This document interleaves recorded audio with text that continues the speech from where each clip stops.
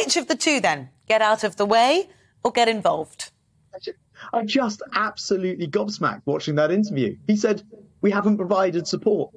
The taxpayer provided 16 billion pounds of support, 600 pounds for every household. Every one of your viewers watching has paid 600 pounds from their household to keep every railway worker in a job, not even on furlough, during the coronavirus. The idea that we haven't provided support it's just ludicrous. And, and, anyway, back to your point, which is this: no, look, he, there are employers and there are unions. They're the only people who can settle these um, strikes. Um, this is just a game they play in order to divert attention from the fact that they are the ones calling the strikes. They can call them off immediately, uh, and they, they they are in you know supposed to be in discussion with the uh, with with the employers. But I noticed the TSSA don't seem to have taken that offer up.